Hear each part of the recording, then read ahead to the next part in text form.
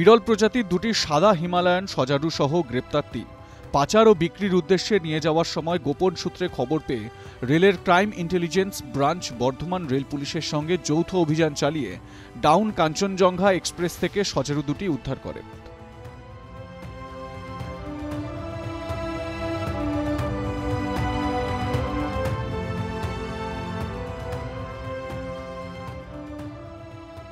জানা গেছে, বর্ধমান স্টেশনের পাঁচ নম্বর প্ল্যাটফর্মে ডাউন কাঞ্চনজঙ্ঘা এক্সপ্রেস ট্রেনে তল্লাশি চালিয়ে এই সজারুগুলি উদ্ধার করা হয়।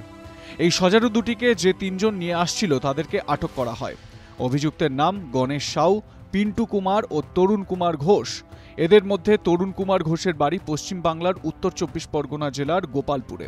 অন্যদিকে গণেশ সাউয়ের বাড়ি ঝাড়খণ্ডে এবং পিন্টু কুমারের বাড়ি দিল্লিতে বলে জানা গেছে।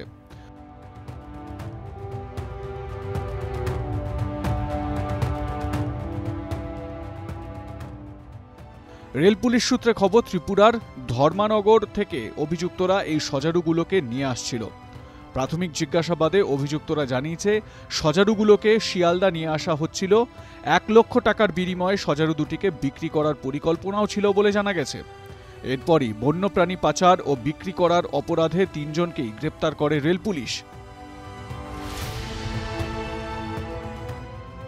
পূর্ব বর্ধমান থেকে সুজাতা মেহরার রিপোর্ট, আজ বাংলা।